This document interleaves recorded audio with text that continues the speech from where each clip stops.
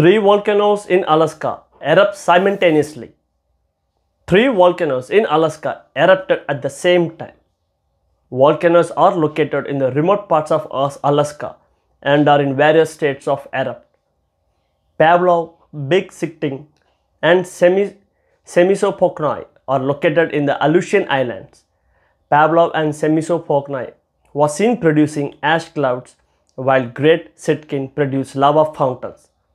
Pavlov is covered by a stratovolcano which lies nearly 965.6 kilometers southwest of Anchorage on southwestern tip of the Alaskan Peninsula.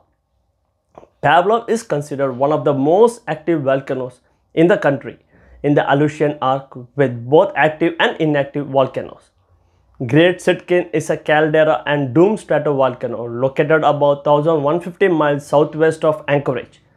There have been reports of witness in the Adak community seeing lava fountains on the volcano. The fact that they just went out there and saw it was really great, said Chris Waythomas, a geologist of the Alaska Volcano Observatory.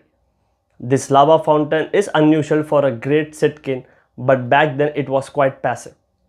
The Semisopochnoi volcano is located on an un uninhabited island of the western tip of Aleutian Islands. This produced an ash cloud that rose about 10,000 feet into the air, Waythomas said. The volcano had previously erupted regularly. The eruption came nearly a week after a magnitude 8.2 earthquake hit Alaska, the state's strongest quake in decades. Thanks.